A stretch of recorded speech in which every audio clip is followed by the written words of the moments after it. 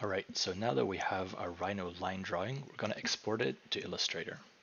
So to do that, you select all the lines you want to export, go to File and then Export Selected.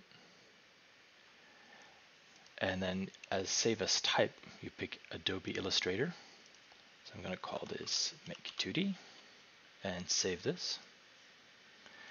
And here you get the export to Illustrator export options. So here I want to show you how to preserve the, the model scale. So you can export as a snapshot of the current view, and then it will not export as a scaled drawing, but this allows you to add a certain scale to it. So if we want to do one foot equals a quarter inch, you would fill in equal one foot equals 0.25 inch. If you want to do uh, one foot is an eighth of an inch, you can type in 0.125. Now, if you don't want to do the math of how much feet, how much one eighth is in decimal or one sixteenth, what you can also do is 16 feet equals one inch.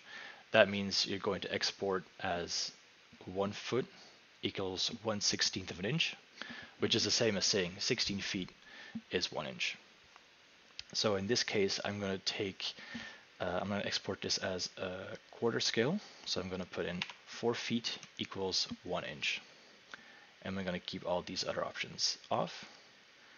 I'm going to press OK. And then I'm going to open my file in Illustrator. And you'll see that it opens up as make2d and between square brackets converted.ai. But this is my drawing here. So I'm going to put this in the middle of my artboard. And it came out with the layers reversed. So I'm going to drag them around just so that Illustrator has the lines in the right order. But from here, you can start editing your line drawings. So, and us having them split on separate layers is going to make it easy, easier for us to pick off the lines and edit them that way. All right, that's how you export from Rhino to Illustrator.